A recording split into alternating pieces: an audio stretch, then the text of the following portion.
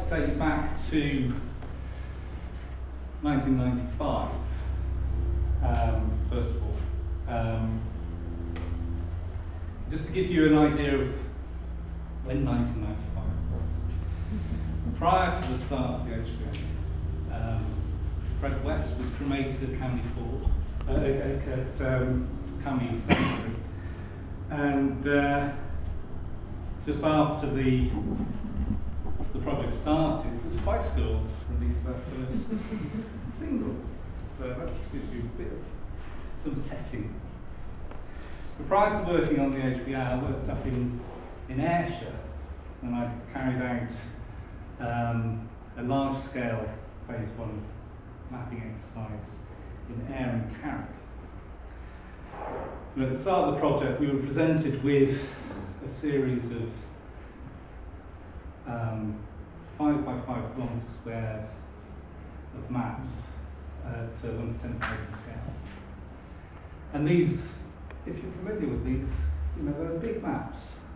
Um, and previous surveys, once we color coded everything by hand, they were duly put into a map cabinet, far too valuable to use in any way, uh, in case they got damaged or lost. So when I was presented with these maps, the first thing I did was go a pair of scissors and I cut them all up into two by three kilometres, uh, kilometre squares and stuck them on like A3 sheets and photocopied them. And they then became the basis of the survey. And when we completed the survey two years later, all the maps were photoco colour photocopied twice and the originals were archived. And suddenly you get this idea that this is now a usable commodity. And so when I got word, I, I, um, when I found out about the HBA, I was really interested. I had some minor experiences with the power of GIS, but it was that idea that you could actually use that information beyond just doing the survey and then putting in the map. So when I applied for the place, they'd kindly given me an afternoon slot. So I drove the 320 miles down from Mauchline in Ayrshire to Warwick to attend the interview, had the interview, um, and then drove back. And I decided I'd stop at Hadrian's Wall take a short walk. And whilst there, I decided to phone home uh, to say that I was coming on my way back, and uh, I was told that I'd been offered the job. And it was a mix of yes and oh my god. so I drove back home contacted some uh, estate agents, drove back to Coventry, viewed some properties, signed leases, drove back to Mauchline. And once the paperwork for, for the lease of the properties was, was sorted, I then hired a Luton van, packed all our stuff, drove back to Coventry, and loaded all the stuff in the van into the house in the middle of the living room, just a big pile of stuff. Drove back to Ayrshire, dropped off the van. In fact, I slept in the cab of the van because I arrived so late that I didn't want to disturb anybody in the house. Took the van back,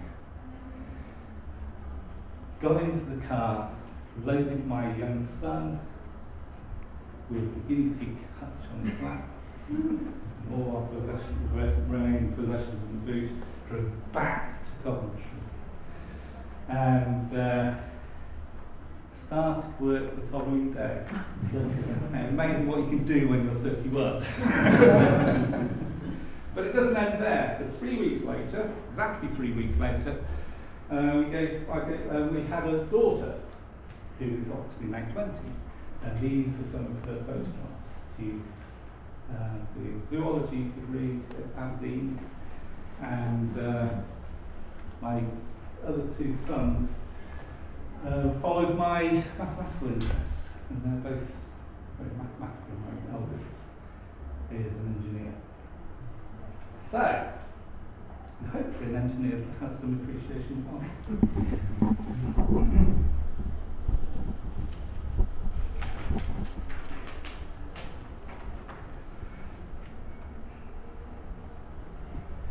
Now, the people that were instrumental in setting up the HBA was Neil Wyatt, who was the conservation manager of the Wildlife Trust at the time, who left a month after I started to become the chief executive of Birmingham Black Country Wildlife Trust.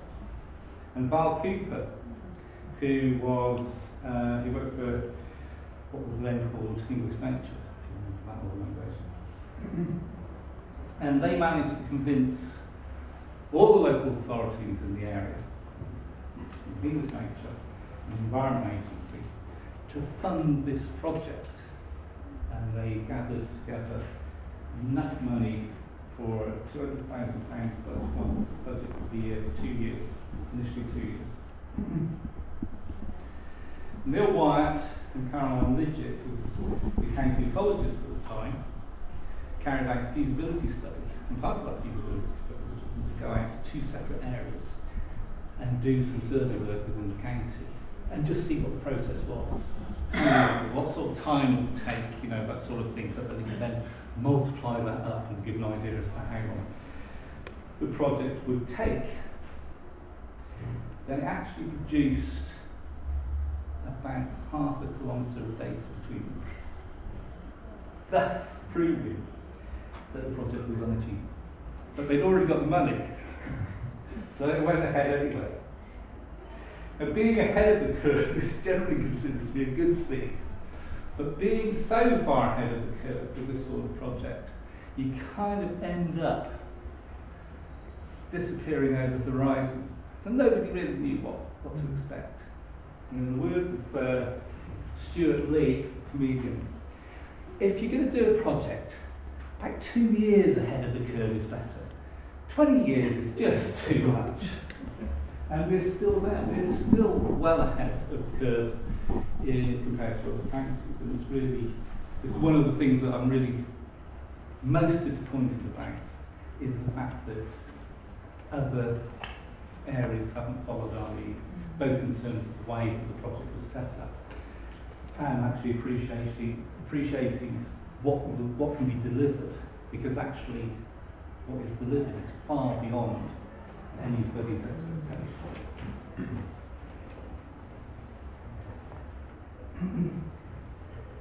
so when I started, initially, you know, it was quite a nice time.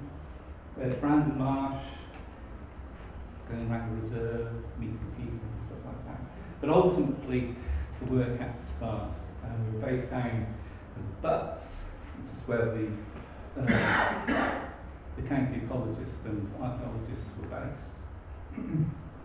and we were in, a, in, a, in an annex, flat, flat roof annex.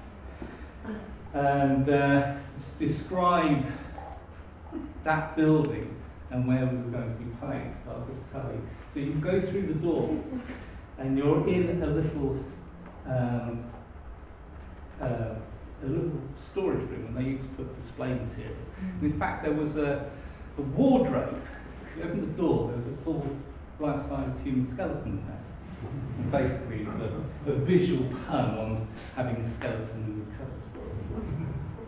You then went into the next room, which ultimately became our office. It was the invertebrate store, and it had these hugely heavy wooden cabinets with all these drawers for the invertebrates. And they were so heavy and been there such a long time, it actually sunk into the concrete floor. we then went into the um, stuffed, stuffed mammal collection, which didn't have any windows. We then went into a kitchen area, which also had the emergency exit.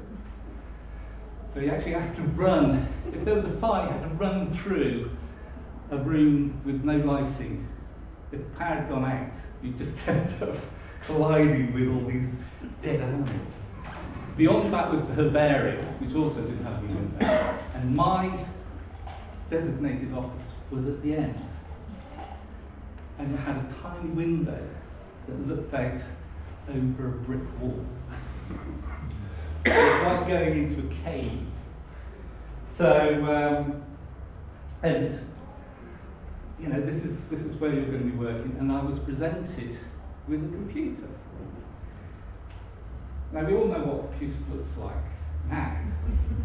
so Pam Coxon quite proudly went, look, and it was a computer with the base was the size of, you know those old hi-fi systems? They used to have the eight-track player and turntable. It was about that size, and it had a, a screen about this big, permanently fixed in the middle of it, which glowed green when it was switched off. And I thought she was showing me an exhibit. but she wasn't. So my first duty duty as a project officer was actually to sort out the accommodation and our, our computers. And it's quite interesting that um, the, the kind of difference or the different attitude, and I dare say it still applies today, but on the ecology side of things, everything was make do. You know, you just made, you know, if you needed something, you constructed that, a bit of twine some bamboo canes. Um, and on the IT side, you know, it was all kind of fantastically impressive. Huge amounts of money devoted to the actual process of capturing the data that the ecological surveyors did. Um, and it was quite interesting. But once we moved into the room, and I painted the floors and actually got some carpet because the benches were quite high up because they'd been used as part of museum services. Um, and I don't know why they like them, but they do like them quite high. Um, and they were on kind of elevated seating with wheels. And on the con concrete floor, as we're typing away, you actually find yourself rolling around. So you have to put a carpet down so the people actually sit at the, uh, at the workstation. Um, but being a storage area, we actually, although the, the invertebrate cabinets had been moved, we were left with a huge head of a Hereford longhorn steer, which was attached to the wall above the computer where the GIS people worked. And little bits of sawdust would cascade out of the nose of this animal every time the door was open or shut. and we never managed to get rid of it.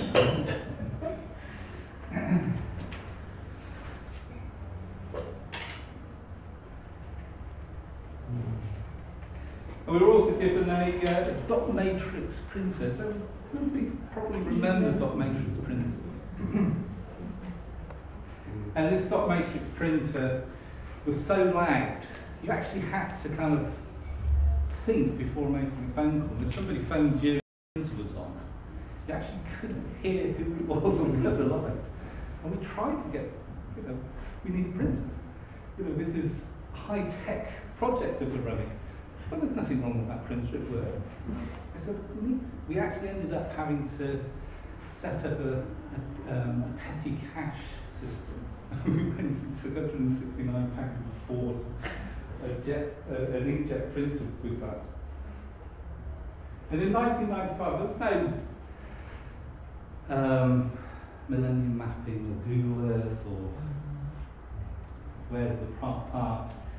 Um, but we did recognise that value of using aerial photographs and planning and checking the uh, progress of the circuit.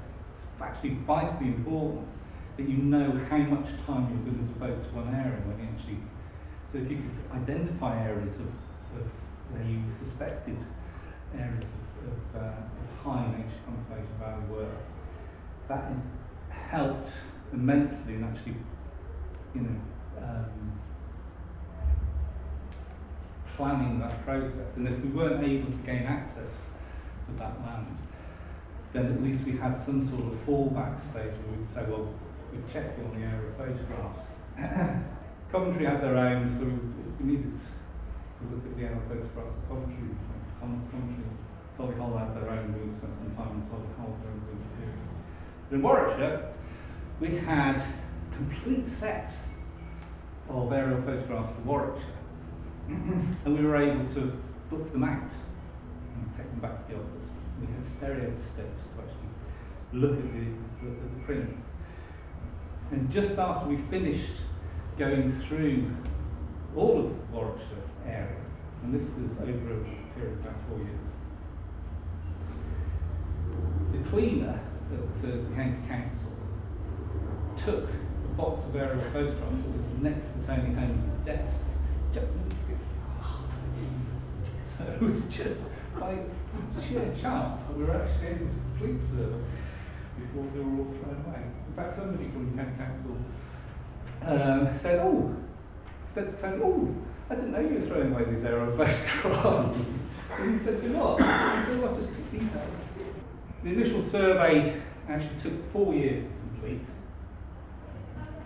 And I think I need to mention a couple of people who we actually, who were volunteers, we actually employed for a season um, to assist in that. One of these was Steve Garnett, who's now working up in the Lake District with Warden with the RSPB, desperately trying to save um, hen harriers from English hen harriers from going extinct.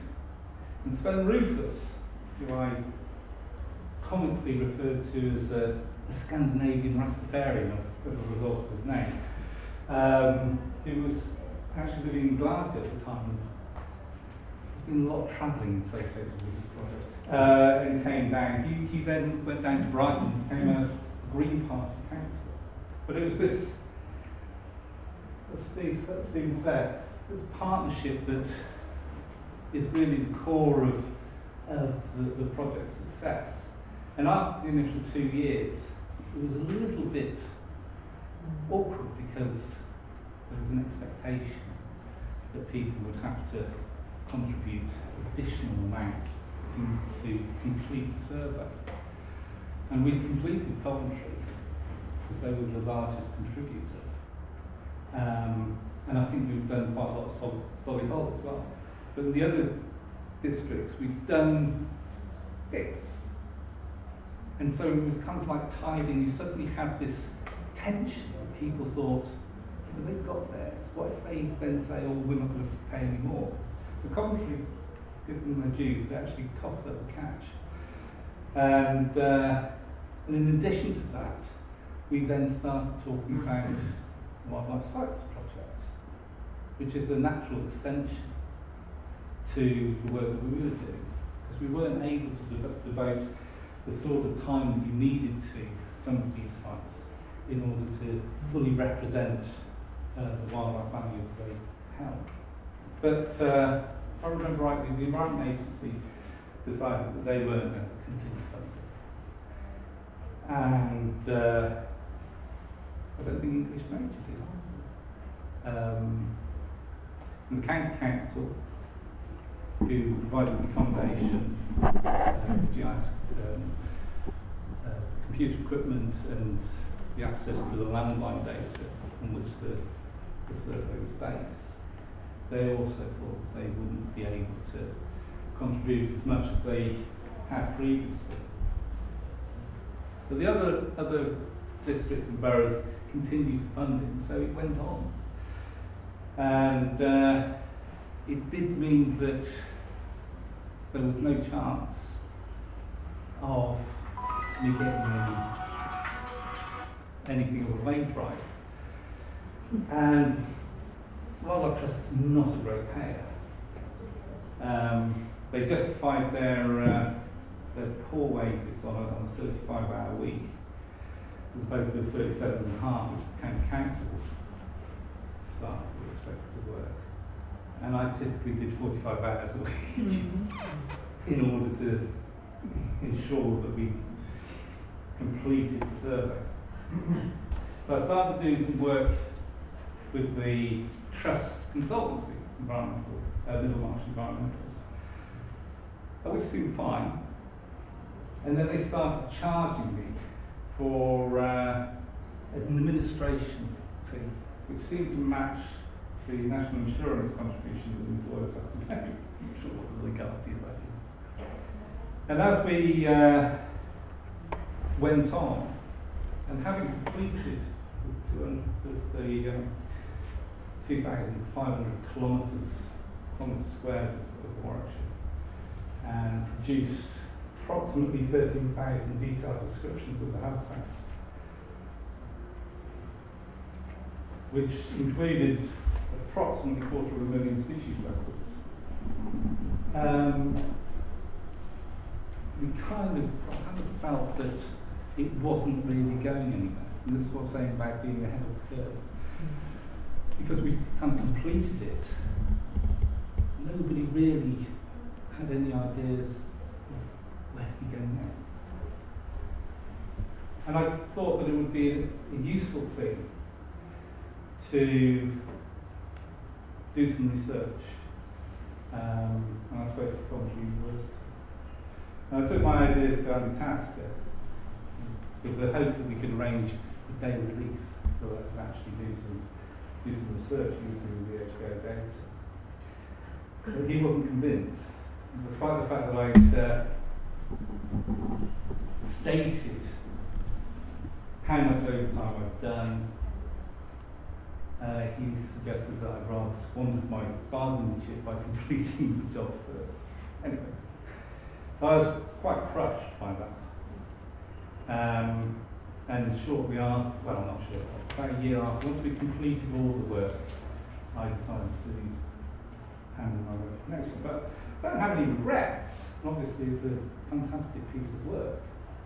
And it's really encouraging that it continues to this day. It's really my baby. And uh, it's, a, it's, a, it's a, a fantastic thing. If you've not been involved in large scale surveys, especially when you actually start putting the information onto GIS, suddenly you start making these connections as saying. Just doing individual surveys just doesn't give you that perspective. And we started talking in terms of landscape scale ecology. And that is the perspective difference that you suddenly get from not having you know, maps in a, a map cabinet, but having something that really, if you understand what you look at, really kind of speaks to you and comes alive. So it's heartwarming that, uh, that you thought it appropriate to celebrate 20 years of the uh, thank you all very much for coming out.